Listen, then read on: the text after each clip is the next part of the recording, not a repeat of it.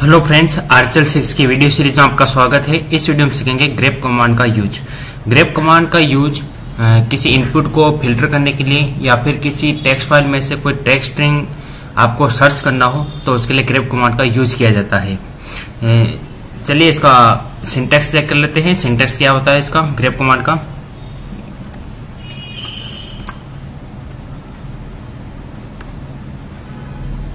तो grep command का syntax प्रकार होता है ग्रेप फिर ऑप्शंस पैटर्न और फ़ाइल ठीक है? तो सबसे पहले आपको ग्रेप कमांड लिखना है। उसके बाद में ऑप्शंस जो भी ऑप्शन आप यूज़ करना चाहते हैं, आपकी रिक्वायरमेंट के अनुसार, जैसे hyphen I hyphen L hyphen N hyphen C hyphen V और उसके बाद पैटर्न वो, जो आप इनपुट से मैच करवाना चाहते हैं, या फिर वो स्ट्रिंग आपको यहाँ पे लिखना है, जो आपको फ़ाइल से सर्च करना है।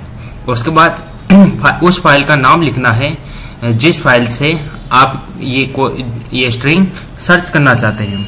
तो सबसे पहले आपको लिखना है ग्रेप कमांड फिर ऑप्शंस फिर पैटर्न या स्ट्रिंग जो भी आपको सर्च करना है, और फिर उस फ़ाइल का नाम लिखना है, जिस फ़ाइल से आप वो स्ट्रिंग सर्च करना चाहते हैं। उसके बाद बात करते हैं ग्रेप वेरिएंट्स की। तो ग्रेप के तीन वेरिएंट्स होते हैं ई ग्रेप एप ग्रेप और rgrep egrep same as grep hyphen E fgrep same as grep hyphen F rgrep same as grep hyphen R उसके बाद बात करते हैं ऑप्शंस की। तो यदि आप ग्रेप के ग्रेप कमांड के साथ में double hyphen help option use करते हैं तो ये ऑप्शन ग्रेप कमांड की हेल्प प्रिंट करेगा। यानी ग्रेप कमांड के साथ में और कौन कौन से ऑप्शन यूज़ होते हैं और किस ऑप्शन का क्या यूज़ होता है, ये आपको शो करेगा। और यदि आपको चेक करना है कि आप ग्रेप कमांड का कौन सा वर्जन यूज़ कर रहे हैं तो उसके लिए आपको ग्रेप कमांड के साथ में hyphen capital V option use करना पड़ेगा। ये आपको प्रिंट जो ग्रेप कमांड का जो वर्जन आप यूज़ कर रहे हैं वर्जन नंबर प्रिंट करके देगा। उसके बाद और भी बहुत सारे ऑप्शंस होते हैं ग्रेप कमांड के, जैसे hyphen V hyphen C hyphen N hyphen I और हाइपन एल तो सबसे पहले बात करते हैं हाइपन वी तो hyphen V show all the lines that do not match the search string यानी ये उन सभी लाइन को प्रिंट करेगा जो आपकी पैटर्न या स्ट्रिंग से मैच नहीं होती। यानी यदि आप किसी टेक्स्ट फ़ाइल से कोई स्ट्रिंग सर्च कर रहे हैं तो उस टेक्स्ट फ़ाइल में से उन सभी लाइन को को प्रिंट करेगा जो जिस लाइन में आपकी स्ट्रिंग मैच नहीं होती है। यानी जब भी आपको इनवर्स मैच करना हो, तब आपको ग्रेप कमांड के साथ में हाइपर वी ऑप्शन यूज़ करना पड़ेगा। उसके बाद बात करते हैं हाइपन सी तो हाइपन सी ऑप्शन जो भी लाइन मैच होती है उन उन सभी लाइन का टोटल नंबर काउंट करके आपको रिटर्न करेगा। यानी यदि आप कोई टे, किसी टेक्स्ट फ़ाइल से या किसी इनपुट से कोई पैटर्न या स्ट्रिंग मैच कर सर्च कर रहे हैं तो वो जो स्ट्रिंग है वो उस टेक्स्ट फ़ाइल या इनपुट में से किस किस लाइन में कौन कौन सी लाइन में मैच हुई है, उन सभी लाइन का टोटल नंबर काउंट करके आपको रिटर्न करेगा। यानी टोटल कितनी लाइन मैच हुई है, यानी टोटल कितनी लाइन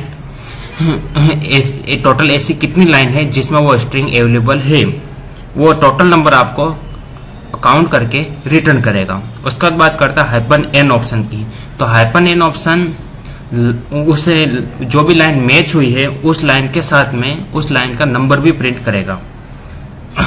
और उसके बाद बात करता है हाइपन आई ऑप्शन तो यदि आप चाहते हैं कि जब भी कोई स्ट्रिंग सर्च करे तो उसका केस भी केस मैच ना करे, उसके लिए आपको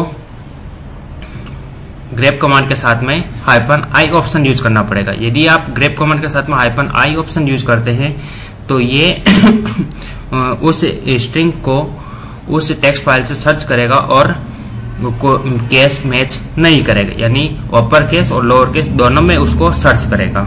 उसके बाद बात करते हैं हाइपन एल ऑप्शन की। यदि आप चाहते हैं कि के, कोई स्ट्रिंग सर्च करना चाहते हैं कि वो स्ट्रिंग कौन कौन सी फ़ाइल में अवेलेबल है उस फ़ाइल का नाम क्या है तो उसके लिए आपको ग्रेप कमांड के साथ में हाइपन एल ऑप्शन यूज़ करना पड़ेगा। Hyphen L option sorry hyphen L option उस फ़ाइल का नाम शो करेगा जिसमें वो स्ट्रिंग अवेलेबल है। चलिए हम एग्ज़ाम्पल स्टार्ट करते हैं। तो सबसे पहला एग्ज़ाम्पल देखते हैं। To search for the given string in a file यानी किसी एक सिंगल फ़ाइल से कोई लिटरल स्ट्रिंग कैसे सर्च करते हैं, उसका सिंटेक्स पर रहेगा।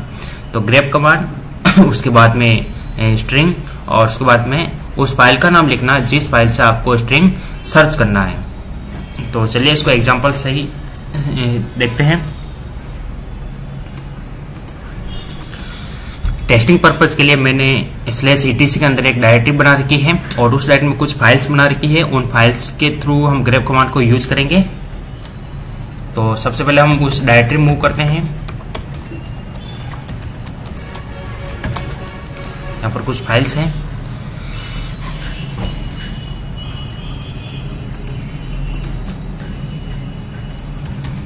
ठीक है?